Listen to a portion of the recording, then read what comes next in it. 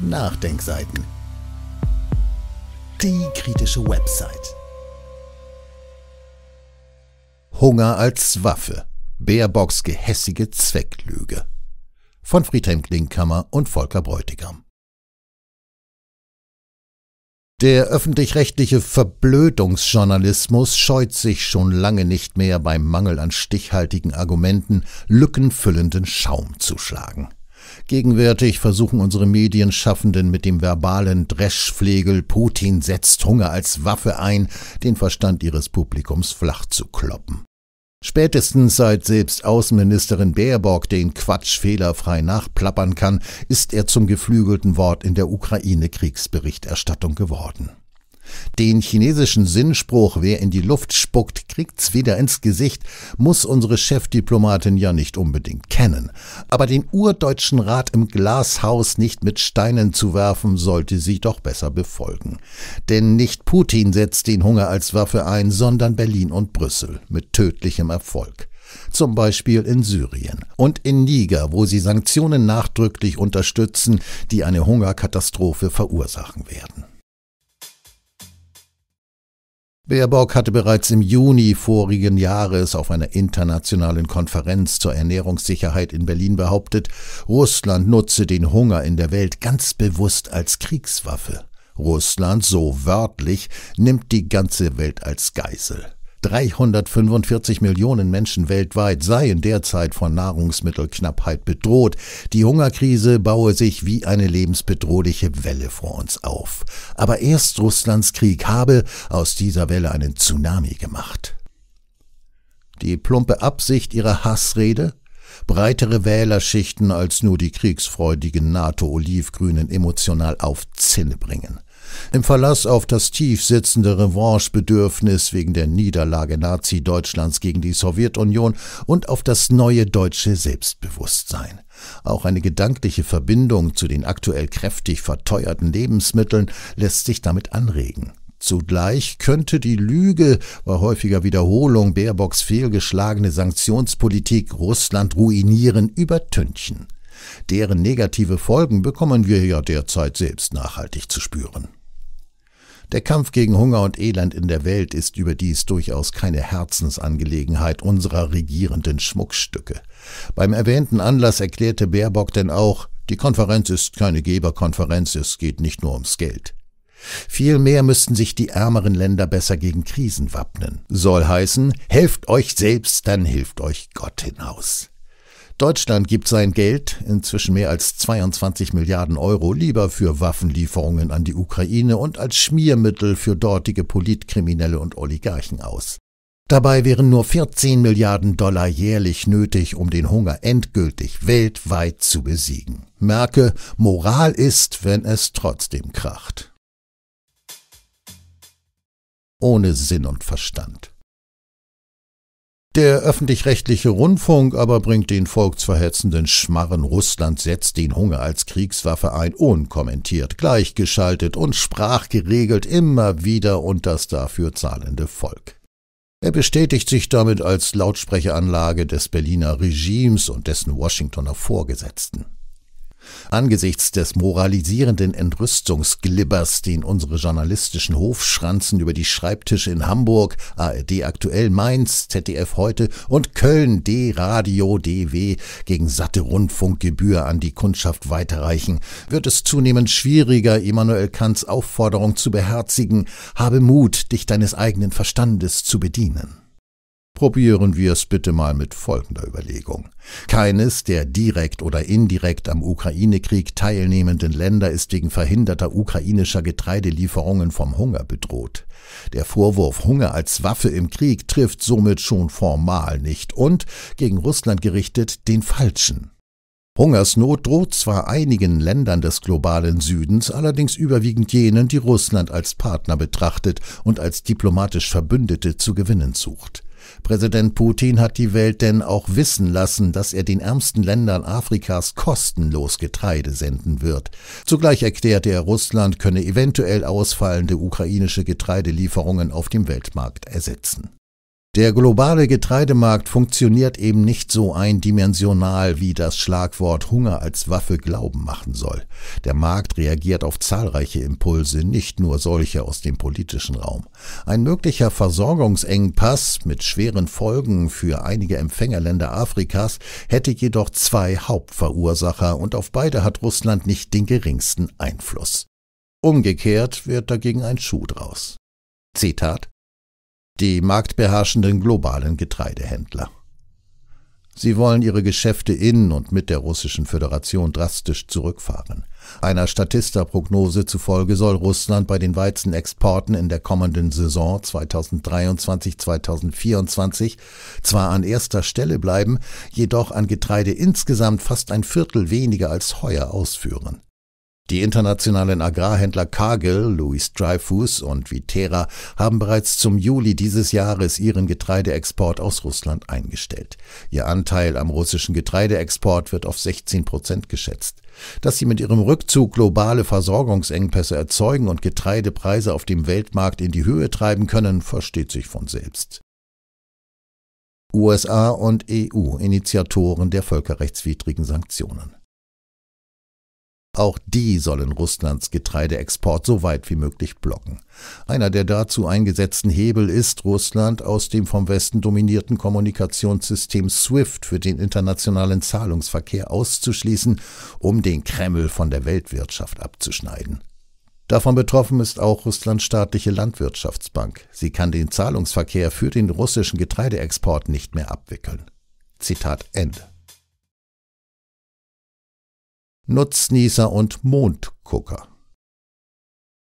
Am Rande sei noch vermerkt, während des inzwischen toten Schwarzmeerabkommens verließen tatsächlich nur 275.000 Tonnen Weizen die ukrainischen Häfen in Richtung der am stärksten vom Hunger bedrohten Länder Äthiopien, Jemen, Afghanistan, Sudan, Somalia, Kenia und Djibouti. Ein Klacks, mehr nicht. Insgesamt erreichten gerade mal 2,5 Prozent des ukrainischen Getreideexports die wirklich notleidenden Länder. Sogar die Tagesschau meldete, 44 Prozent des ukrainischen Getreideexports gingen an reiche Länder, drei Prozent an arme Länder. Den Löwenanteil am Getreide aus der Ukraine sicherten sich Spanien, China und die Türkei. Mit einigem Abstand folgten Italien und die Niederlande. Gegen den ukrainischen Getreideexport opponierten jedoch etliche andere EU-Länder, weil er ihre nationalen Märkte unter Druck setze. Bis heute herrscht in der EU heftiger Zoff über ein deshalb verfügtes Importverbot. Weltweit werden jährlich allein rund 800 Millionen Tonnen Weizen produziert. Etwas mehr als 190 Millionen Tonnen gehen in den Export. Die fünf größten Anbieter waren zuletzt Russland, die EU, Australien, Kanada und die USA. Erst auf dem sechsten Platz folgte die Ukraine. Ihr Anteil am Weltmarkt lag bei acht Prozent. Dem Regime in Kiew ist künftig zwar der Getreideexport per Schiff übers Schwarze Meer verwehrt, es bleibt ihm aber immer noch die Ausfuhr über Land. Der partielle Exportausfall ist für die Ukraine schmerzlich, sein Anteil am Weltmarkt jedoch viel zu klein, als dass er dort Versorgungsengpässe erzeugen und in einigen Ländern gar Hungersnöte herbeiführen könnte. Andere Exportländer treten an die Stelle der Ukraine. Getreidepreistreiber. Indien zum Beispiel. Der zweitgrößte Weizenproduzent weltweit wollte eigentlich von der Knappheit profitieren und wäre nur allzu gerne als Ersatzlieferant eingesprungen. Premier Modi hatte im vorigen Jahr versprochen, eine mögliche Versorgungslücke zu füllen. Schon bald verfügte er stattdessen jedoch ein Exportverbot, um den sprunghaften Preisauftrieb im eigenen Land zu stoppen. Drohende Ernteausfälle wegen der Hitzewelle hatten die Kehrtwende erzwungen. Modis Absage ließ den Weizenpreis prompt sprunghaft ansteigen. Andere Getreideexporteure trugen ebenfalls dazu bei, die aktuellen Preise hochzuhalten. In den USA trat dabei ein Neidmotiv zutage. 28 Mitglieder des US-Kongresses hatten in einem Brief geklagt, Amerikanische Rohstoffproduzenten sind gegenüber ihren Konkurrenten klar im Nachteil, vor allem aus Indien, wo die Regierung mehr als die Hälfte des Produktionswertes für Reis und Weizen subventioniert, anstatt der 10 Prozent, die erlaubt sind nach den Regeln der Welthandelsorganisation WTO. Natürlich reagierten die Getreidebörsen auf diesen Protest. Den G7-Agrarministern passte die indische Subventionspolitik ebenfalls nicht, nur begründeten sie ihre Ablehnung anders. Bundeslandwirtschaftsminister Cem Özdemir bis zum Kragen abgefüllt mit Selbstüberschätzung. Wir haben alle miteinander, gerade die großen Exportnationen, auch eine Verantwortung für den Rest der Welt, nölte er mit Blick auf Neu-Delhi. Ich sehe das sehr kritisch. Tatsächlich galt seine Sorge wohl bloß den deutschen Verbraucherpreisen. Er ist schließlich auch für das Ressort Ernährung zuständig. Gardinenpredigten, adressiert an Abwesende, dienen seiner Sorte Politiker bevorzugt als risikoloser Ersatz für fehlende eigene Handlungsbereitschaft. Strich drunter. Das Profitinteresse hat im Kapitalismus immer Vorrang, auch angesichts möglicher Hungersnöte. Man sollte meinen, dass sich angesichts der Faktenlage jeder lächerlich macht, der da behauptet, Russland setze den Hunger als Waffe ein. Doch die Bärböcke unserer Tage sind nicht nur aggressiv, sondern auch erkenntnisresistent. Zur reuigen Einsicht, Russland genötigt zu haben, das Getreideabkommen für die Ukraine auslaufen zu lassen, reicht es einfach nicht. Dass Putin versprach, kostenlos Getreide nach Afrika zu liefern, verstärkte noch ihre Abneigung, denn es ließ sie in den Augen der Welt alt aussehen. Es meckerten vor allem die penetrant russophoben Deutschen. Bundesentwicklungsministerin Schulze sagte dem evangelischen Pressedienst, Präsident Putin habe schon zu oft sein Wort gebrochen und wäre jederzeit wieder in der Lage, Weizen als Waffe zu benutzen. Berliner Spitzenpolitiker legen Wert darauf, intellektuell auf Augenhöhe mit einem Briefkastenschlitz zu bleiben. Räuberisches, mörderisches US-Regime. Verdrängt und vergessen ist, wie westliche Wertekrieger nach ihren militärischen Niederlagen rachsüchtig mit dem Hunger als Waffe umzugehen pflegen. Die US-Amerikaner nahmen erst jüngst nach ihrem Rauswurf aus Afghanistan dessen hungernde Bevölkerung in Kollektivhaft. Sie froren 6,1 Milliarden Euro auf den afghanischen Auslandskonten ein und schlossen Kabul aus dem SWIFT-Bankenzahlungssystem aus. Damit konnte die Taliban-Regierung keine Gehälter mehr auszahlen, keine Medikamente und Lebensmittel mehr importieren. Die Hungersnot, jeder dritte Afghane ist unterernährt, treibt mittlerweile Hunderttausende Afghanen Afghanistan zur Flucht. Knapp die Hälfte des afghanischen Geldes, 3,5 Milliarden Dollar, ließ US-Präsident Biden inzwischen beschlagnahmen, um damit seine Landsleute, die Opfer des Anschlags vom 11. September, zu entschädigen. Mit diesem Terrorakt hatte Afghanistan zwar nichts zu tun, die Attentäter waren Araber, aber was schert das schon kriminelle Werte westliche Regimes wie das der USA und ihrer Vasallen? Ähnlich schlimm wie in Afghanistan ergeht es den Menschen in Syrien. Dort leidet statistisch jeder Zweite an Hunger. Infolge der US-Sanktionen kann sich das Land weder ausreichend mit Nahrungsmitteln versorgen, noch lebenswichtige Medikamente und andere Bedarfsgüter beschaffen. Sein Öl, den Reichtum des Landes, beuten zurzeit die USA aus. Sie haben die Förderanlagen im Nordosten besetzt, organisieren den Raub und illegalen Transport in den Irak und beteiligen eine kurdische Clanelite an den Verkaufserlösen. Hungermacher. Syrien war ja einst eine Kornkammer des Nahen Ostens. Jetzt plündern die USA die Getreideernte und schmuggeln das Raubgut über die Grenze nach Irak. Es schert sie nicht im geringsten, dass sie damit das Überleben ungezählter syrischer Kinder opfern. Bei Gelegenheit völkerrechtswidriger und kriegsverbrecherischer US-Bombardements auf die zivile syrische Infrastruktur geht auch schon mal ein Getreidespeicher in Trümmer und das lebenswichtige Gut in Flammen auf. Unserem staatstragenden öffentlich-rechtlichen Rundfunk ist Syriens Elend trotzdem schon lange kaum noch eine Nachricht wert. Dabei könnte man die US-amerikanische Besatzerbande wie die verantwortlichen EU-Sanktionäre mit Grund beschuldigen, den Hunger als Waffe einzusetzen.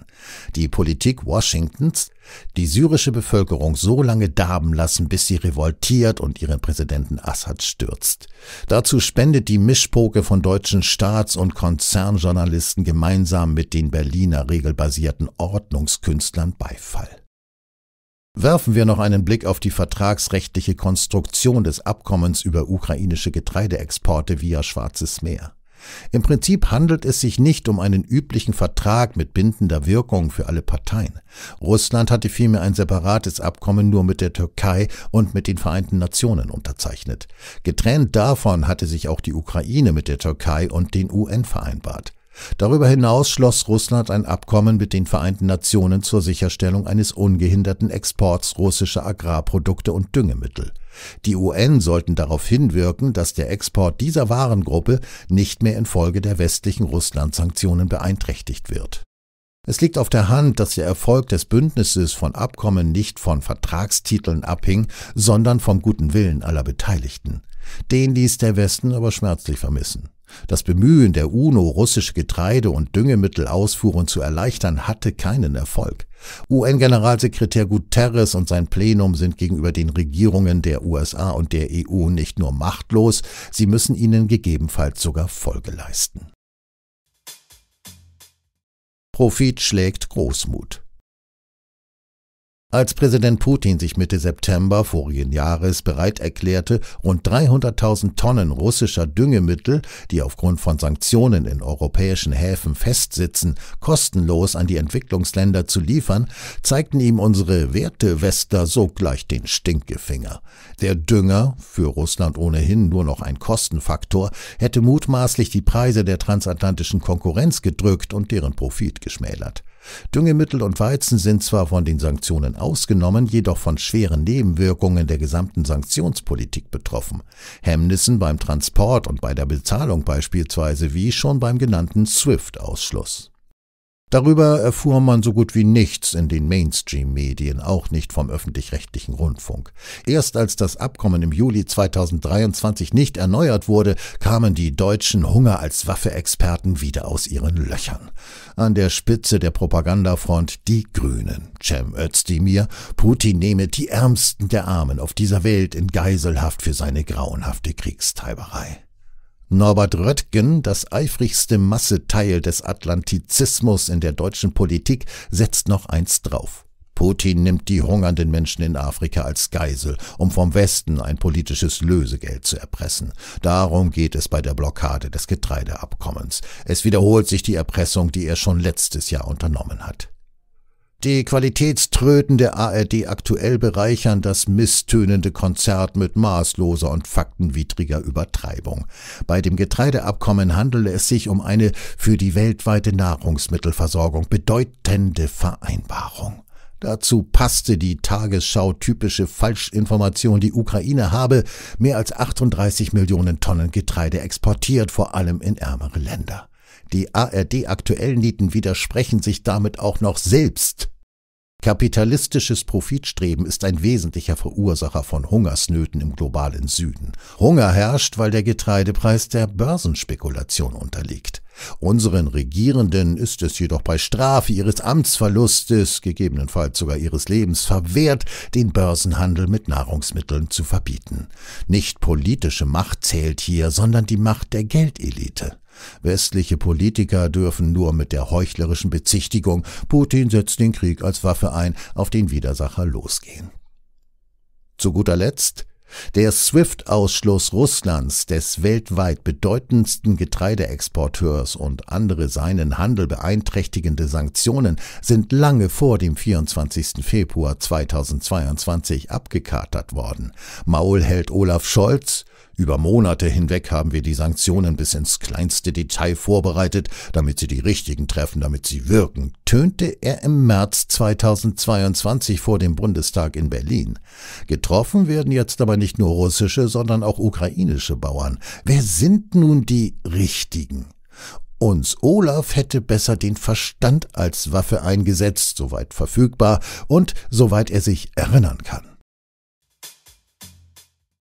Anmerkung der Autoren Unsere Beiträge stehen zur freien Verfügung, nicht kommerzielle Zwecke der Veröffentlichung vorausgesetzt. Wir schreiben nicht für Honorar, sondern gegen die mediale Massenverblödung in Memoriam Peter Scholler Tour. Die Texte werden vom Verein Ständige Publikumskonferenz öffentlich-rechtlicher Medien e.V. dokumentiert. Link publikumskonferenz.de slash blog Dieses Audio konnte nur entstehen, weil zahlreiche Leser und Leserinnen die Nachdenkseiten fördern und durch Spenden unterstützen. Wenn Sie auch etwas tun wollen, klicken Sie einfach den entsprechenden Button auf unserer Website an. Übrigens, Sie können uns auch bei iTunes, SoundCloud und YouTube hören Und wenn Sie mögen, gerne unseren Kanal abonnieren und eine positive Bewertung für uns abgeben. Wir freuen uns über Ihre Unterstützung und die Weiterverbreitung unserer Inhalte.